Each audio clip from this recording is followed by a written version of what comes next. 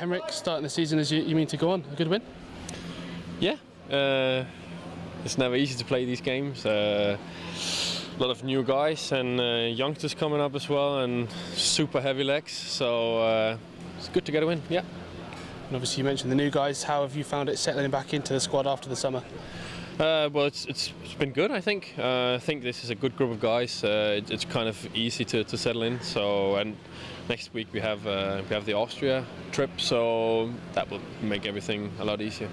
Obviously, one of the senior guys this season, looking to kind of lead the team this year, and that starts, I guess, from the very beginning, doesn't it, in, in pre-season and beyond? Yeah, uh, definitely. We uh, have uh, some some focus points we really want to to push forward. So uh, yeah, some of the more experienced guys needs to to step up even more, and uh, hopefully we'll get a few more guys in with with, with some more experience. And I think Ethan Ethan can definitely help us uh, a lot going that way.